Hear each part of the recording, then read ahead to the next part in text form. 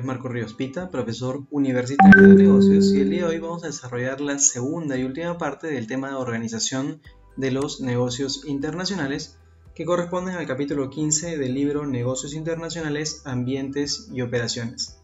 En la primera parte de este tema habíamos desarrollado básicamente todo lo correspondiente a estructura, hay que recordar que la organización está dividida, en estructura, sistemas de coordinación y control y cultura organizacional o corporativa. El día de hoy vamos a desarrollar la segunda y la tercera parte del concepto de organización. Sistemas de coordinación y control. Las empresas multinacionales, en la medida que expanden sus negocios a otros mercados, ven que aumenta la complejidad de poder coordinar las labores que se tienen que realizar y asimismo establecer las métricas que permitan controlar que el trabajo se haga bien.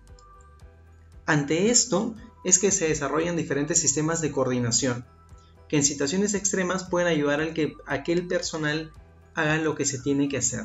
Caso contrario, eventualmente los colaboradores de la empresa podrían tomar diferentes caminos o formas de actuar ante diferentes situaciones y esto podría perjudicar eh, a la compañía, al valor de la empresa, entre otros eh, aspectos similares.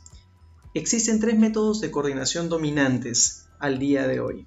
Coordinación por estandarización, coordinación por planes y coordinación por ajuste mutuo. Vamos a explicar cada una de ellas. Cuando hablamos de coordinación por estandarización hay que tener en cuenta lo siguiente. Típicamente se aplica para aquellas compañías que tienen formatos similares o idénticos de su negocio principal en diferentes lugares del mundo. Para esto se establecen reglas y procedimientos universales que van a seguirse al pie de la letra en cada mercado.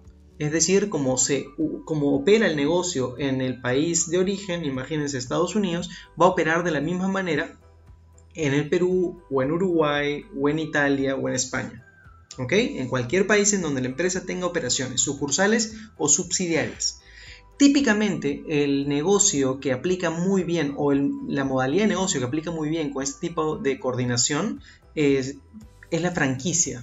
¿Por qué motivo? Porque eh, la idea es que el cliente perciba el mismo nivel de servicio que podría obtener en otra locación en otro lugar del mundo. Starbucks es un perfecto ejemplo de empresa que utiliza el sistema de coordinación por estandarización de mejor manera, de forma óptima tienen estandarizados muchas características de los productos, es decir, la carta es más o menos similar, hay pocas variaciones, los procedimientos y los procesos son idénticos, el manual de entrenamiento que reciben los trabajadores de Starbucks es idéntico, independientemente del país en donde se realice. La única diferencia es el idioma, por lo demás es exactamente lo mismo. Ahora, existen otros tipos de negocios, otro tipo de organización eh, en las cuales necesita mucho más adaptación, es decir, no se trabaja de la misma manera en cada mercado. Por lo tanto, el sistema de coordinación por estandarización no aplica. Y sería, por ejemplo, el sistema de coordinación por plan. La coordinación por plan requiere que las diferentes unidades interdependientes de la empresa, vale, vale decir subsidiarias, cumplan con plazos de entrega y objetivos en común. Si bien tienen el empoderamiento de actuar de forma ligeramente distinta o algo distinta, eh, guardan en relación o tienen en relación, tienen en común cómo hacen las cosas. Por ejemplo, eh, y ya se ha hablado en otros videos del canal, algunas compañías implementan sistemas de calidad para trabajar de manera eficiente y reducir los errores en la ejecución de las tareas. Entre estos métodos de calidad eh, se encuentra el sistema 6 Sigma o Six Sigma, que ya se mencionó también en videos previos que fue lanzado al mundo a través de la compañía Motorola y popularizado por la empresa General Electric en la época en que Jack Welch era el CEO o director de la compañía. Entonces, mediante este sistema de calidad Six Sigma, el cual es un proceso de planificación riguroso y disciplinado, se permite que el trabajo se realice de forma eficiente, relativamente similar pero con adaptaciones necesarias dependiendo del mercado en donde se encuentre la organización. Empresas como Credit Suisse, Siemens, General Electric, Korea Telecom, Nortel Networks, Air Canada y DuPont utilizan este, este tipo de sistema de coordinación por plan. Ahora, Si bien se tienen que establecer sistemas de coordinación para que el trabajo se haga bien, eso no garantiza que los resultados sean los que la empresa espera. Es por ese motivo que aparte de implementar sistemas de coordinación, se implementan sistemas de control. Las empresas, en base a sus objetivos, establecen metas para las organizaciones y estas a su vez para los colaboradores independientemente del área en la cual laboren. Estas metas se van a comparar con los resultados reales que obtienen en el mercado. Si la diferencia o la variación es positiva o no hay variación, está perfecto. Si la cuota que te habían dado era de 10 y conseguiste 10, perfecto. Si conseguiste 11, mejor aún. Conseguiste 20, hay que evaluar por qué has, has logrado el doble de lo que se te había pedido. Es probable que la meta no haya sido bien establecida. Pero si tu meta es 10 y obtienes 5, 2, 1, hay que replantearse eh, o averiguar qué está sucediendo. Entonces, existen diferentes formas de controlar el trabajo de los subordinados. Por un lado está el control burocrático, que básicamente se apoya en la autoridad organizacional, en la jerarquía organizacional, y está basada en normas y reglamentos muy puntuales, escritos en papel que deben seguir los colaboradores. Asimismo, existe otra modalidad, otro sistema de control llamado control de mercado. El control de mercado utiliza métricas que se obtienen en el mercado, vale la redundancia, para establecer estándares objetivos. ¿A qué me refiero con esto? Por ejemplo, si una empresa quiere establecer cuotas de venta para sus trabajadores, lo, primero que podrían averiguar es cuáles son las cuotas de venta de los vendedores de las empresas líderes del sector.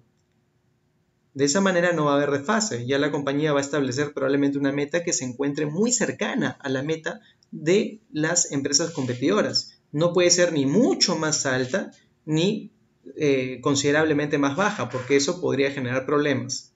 ¿Sí? Ese es control de mercado. Asimismo, si la empresa está viendo que los competidores están creciendo en participación 2-3% anual, la compañía no debería estar muy por debajo de eso. Y probablemente muy por encima de eso no sería tan real, no sería una meta realista. Y el control de clan está basada en los valores de la compañía, en la, eh, en la moral, en los valores, en las tradiciones de la compañía. Es decir, el control de clan se enfoca en la cultura organizacional o corporativa. La pregunta del millón es, ¿estos sistemas de control se pueden combinar? La verdad es que sí se pueden combinar y la gran mayoría de las, de, las empresas utilizan dos o tres en paralelo. Ahora nos vamos a ir a, a la tercera y última etapa o elemento de la organización que es la cultura organizacional o corporativa. La cultura de la organización básicamente se enfoca en creer lo mismo y perseguir como equipo de trabajo los mismos ideales que van a lograr o van a permitir que la empresa crezca en el transcurso del tiempo.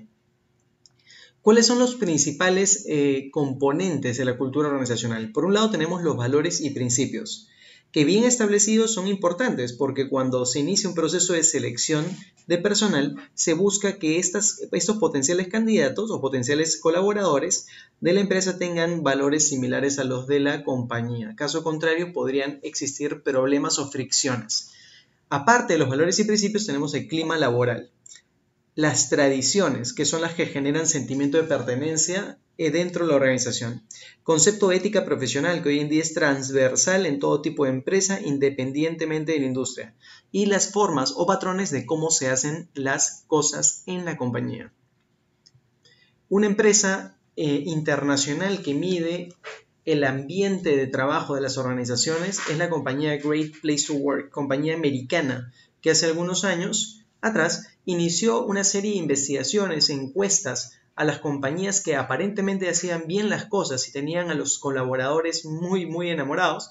Eh, y debido al éxito de estas primeras investigaciones, se fue expandiendo a diferentes lugares del mundo. Hoy en día Great Place to Work opera en diferentes mercados, asiáticos, europeos, Norteamérica, Latinoamérica, etc. Y los graduados de las universidades buscan ingresar a compañías que se encuentren en los primeros lugares de, este, de, este, de esta evaluación de los mejores lugares para trabajar, Great Place to Work.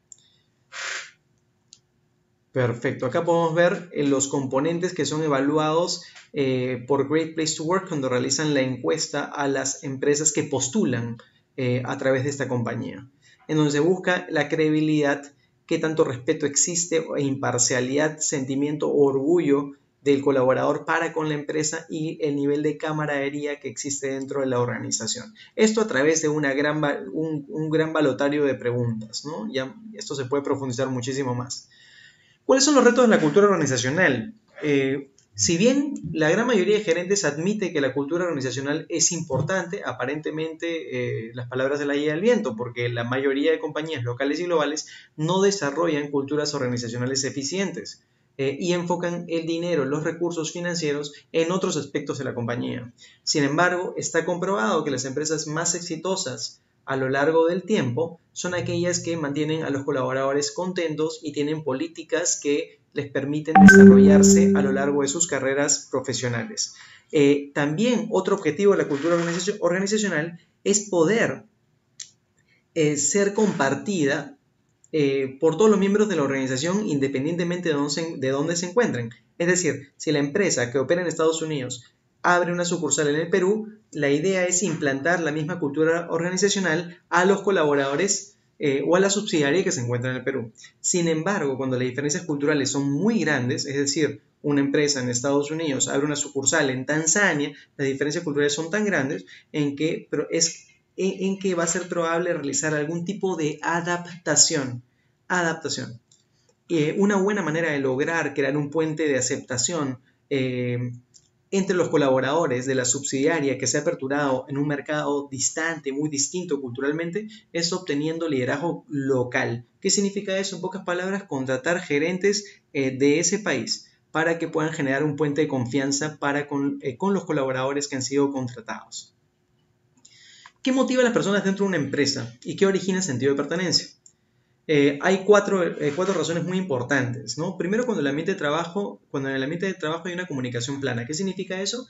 Que se pueda, uno pueda conversar y aportar sus ideas independientemente del puesto que tenga. Que un practicante, un analista pueda conversar de tú a tú con un gerente y plantearle algo. De hecho, muchas compañías hoy en día implementan lo que se conoce como el reverse mentoring, es decir, que los colaboradores que tienen, que son muy jóvenes, acaban de entrar a la organización, pero son muy capaces en algunas cosas, como por ejemplo las herramientas tecnológicas, puedan capacitar a los gerentes de mayor trayectoria, pero que carecen de estas habilidades.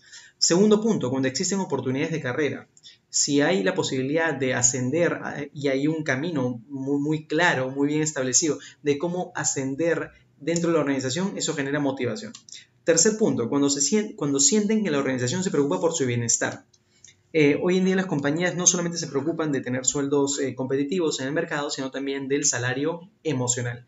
Es decir, entre estos, dar beneficios, tener nutricionista dentro de la organización, eh, tener buena cobertura de seguro privado, entre otros aspectos importantes. Hay compañías que inclusive están implementando gimnasios dentro de sus instalaciones para que no haya motivo o razón de por qué eh, los trabajadores no se condicionan físicamente eh, y de esa manera también se reduce el nivel de estrés que tienen con sus labores diarias. Y cuarto y último punto, cuando la empresa se orienta al desarrollo de las habilidades de su gente.